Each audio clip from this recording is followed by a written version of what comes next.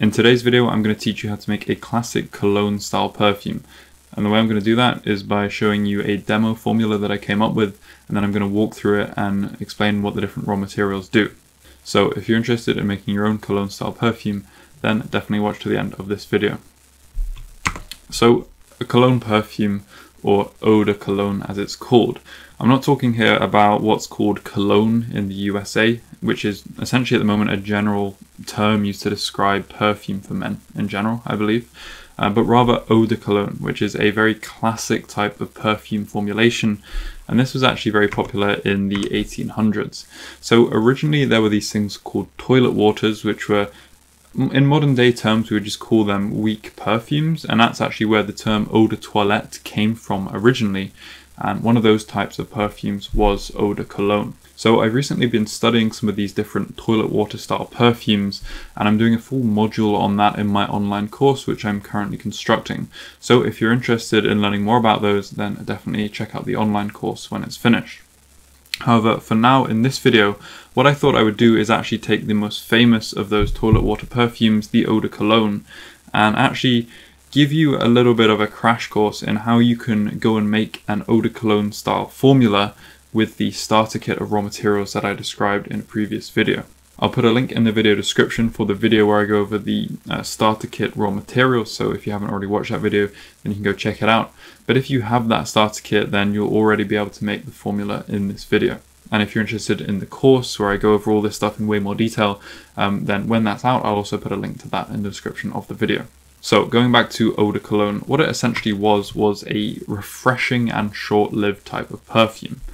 And these perfumes, um, essentially the reason that they were quite popular, probably apart from the fact that, you know, a lot of things at the time smelled a lot worse than they do today because people didn't have such good hygiene. So, you know, a sharp, refreshing perfume would have been really helpful. But it's also at the time they didn't have as many raw materials as they had now.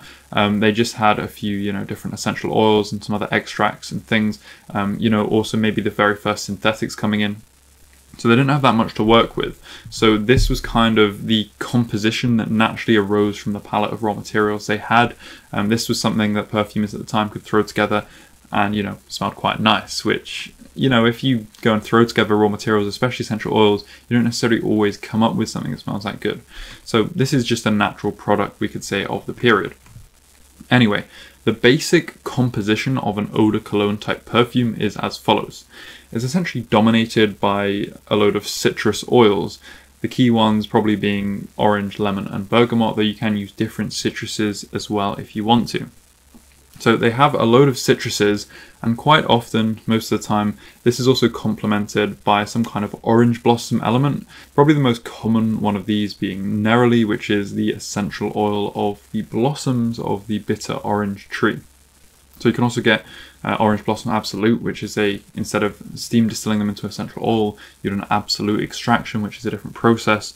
Um, you could also make it with that, and often you also just use petitgrain essential oil, which is the essential oil of the leaves and kind of twigs rather than the uh, blossoms themselves, which is a lot cheaper, um, but still shares a lot of elements in the way it smells. So any of these kind of orange blossom raw materials, you can really go and use these to go and make your uh, eau de cologne style formulation. Then finally, alongside that, they often added uh, little hints of aromatic herbs. So when I say aromatic herbs, that's the term I use to describe certain things like mint, lavender. Uh, these two come from the Lamiaceae family. Um, there's other herbs in that family you can also use, but also uh, similar other herbs. So you can also go and use things like thyme, uh, clary sage, uh, rosemary, other things as well. So you've got a lot of options there, but usually in these colognes, they don't go and use large doses of those things. They just go and add a little dash. You can imagine it like a little dash of seasoning, how you'd put those herbs uh, in food that you might cook as well. So that's pretty much uh, all there is to it. So I won't go over, you know, too much detail, the ins and outs of these eau de colognes. Uh, if you're interested in learning in more depth, then do check out the course when that's finished. For now, I thought I'd give you a basic formula with the starter kit that you can go make and follow along with yourself. So here is a formula. Now, the way I've arranged this formula is starting with the top notes and then finishing with the base notes because I thought that would kind of uh, make it easier to understand the actual composition. Um, and we'll find out that these things are quite top heavy. So actually, um, If we have a quick glance at it, we can see that firstly we've got a lot of citrus oils in here. We've got that lavender. Um, you know, when I was talking about the aromatic herbs, you can have a dash of seasoning. Um, and then we've got these other things as well. So we'll go and talk about those in a second. But what I want to note first is actually the concentration here. So if we go and look at the concentration of the formula here, it's 7.28%, which by modern day standards would probably just about be an eau de toilette. And you know, that is also fitting with the theme of toilet water and all that. Um, however, it's a little bit misleading because if you go and look at that concentration, you'll find out that 3% out of that 7.28 so in relative terms, that's 40% basically, almost half of the composition is just hedione.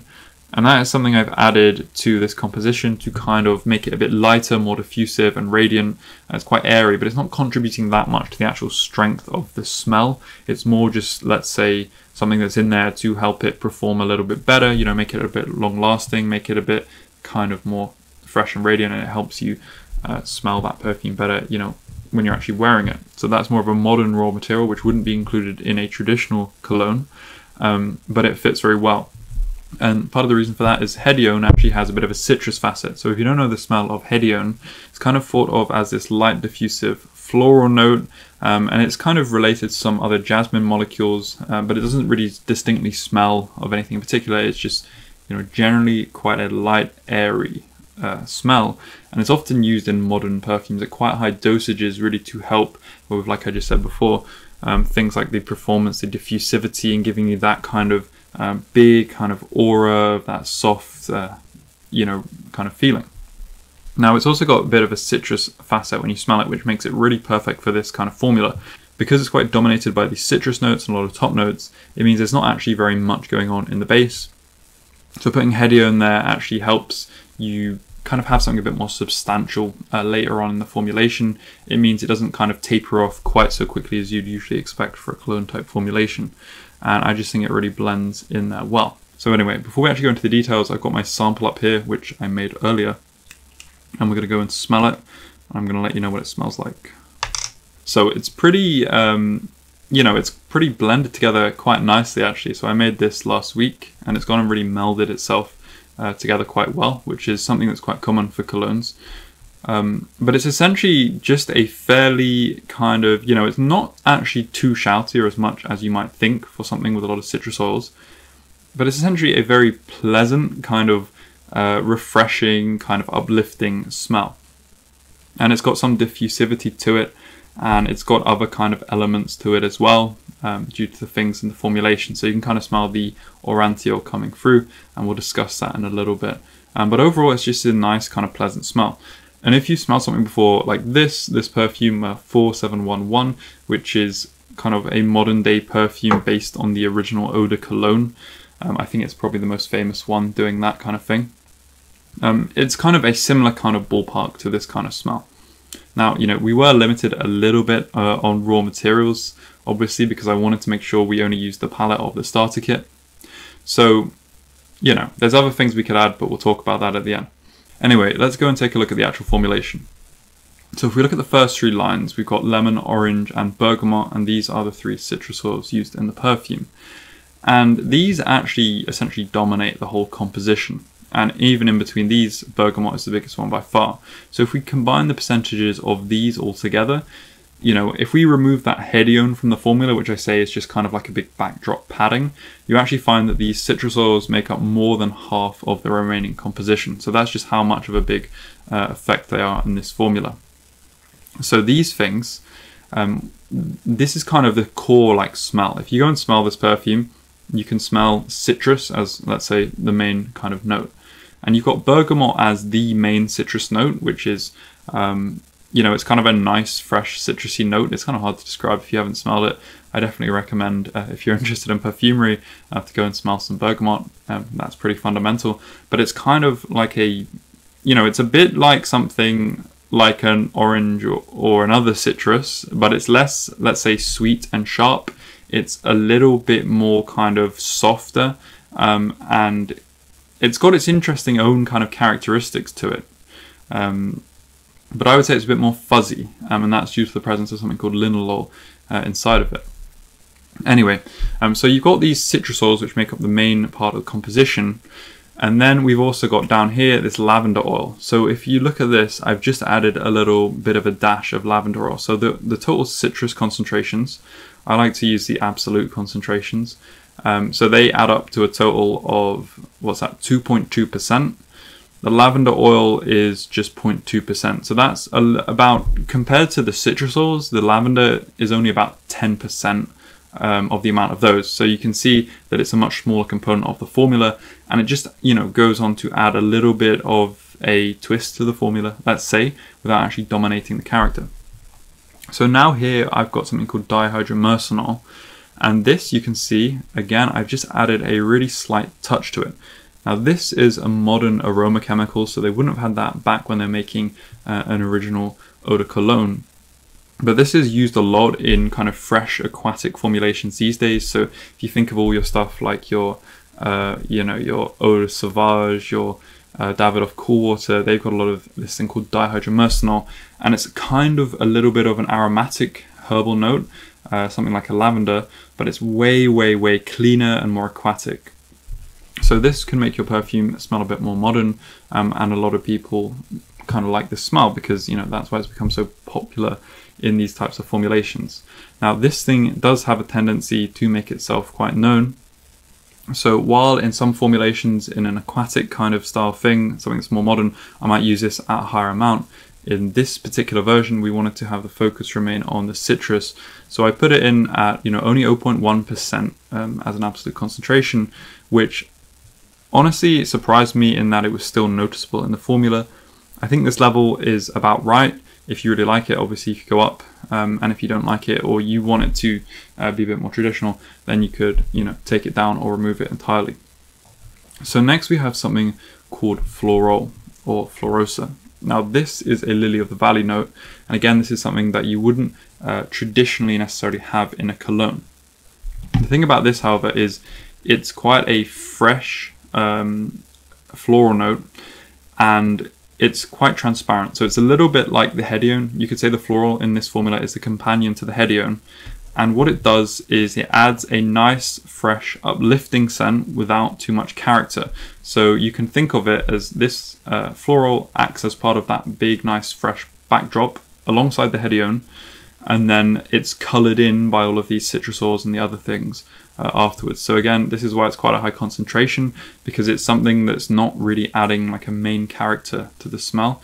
Um, it's kind of being colored in by the other things. Now again, uh, Florol like the hedione is longer lasting than the citrus oils, so it really helps um, make the formula last longer, and it helps, um, you know, something like an eau de cologne you got to understand here the thing about these citrus oils is they are very short lived.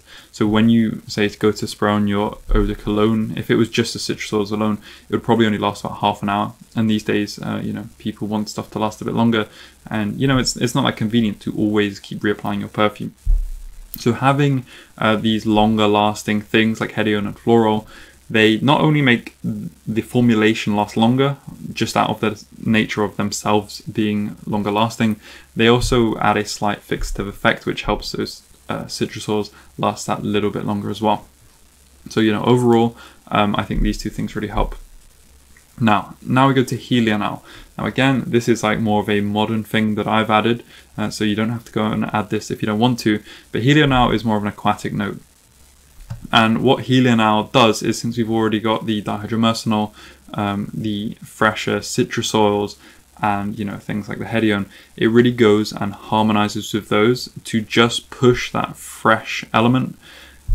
Now we've got it here at 0.2%, so that is low enough for it to not be completely noticeable as an aquatic smell, rather just add quite a fresh uh, juicy facet to the formula, really helping those citrus oils pop, you know. Um, but if you wanted, of course, you could increase it a lot to make it more of an aquatic perfume, make it more modern, um, or you could remove it if you wanted to go more traditional. So next here we have Aurantiol. Now Aurantiol is the orange blossom note in this formulation.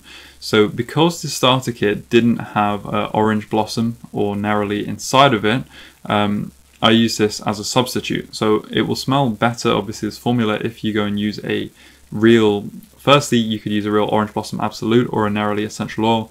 Um, you could also go and use your own Neroli or Orange Blossom Accord, which is a floral accord.